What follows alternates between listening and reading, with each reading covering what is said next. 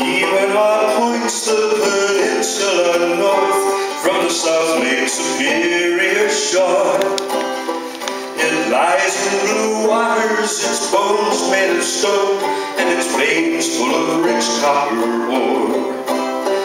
And up at the cliff mine, three miles from the lake, the miners went in every day, where they worked at the copper and drowned it on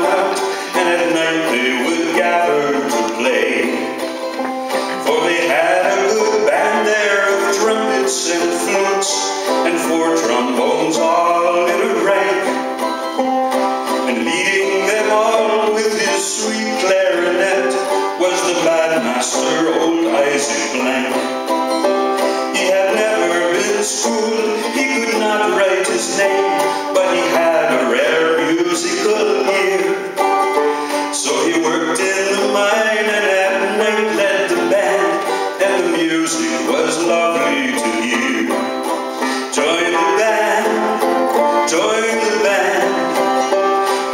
There's a task for every hand. If you can't play the trumpet, then beat the bass drum. You are needed, so come join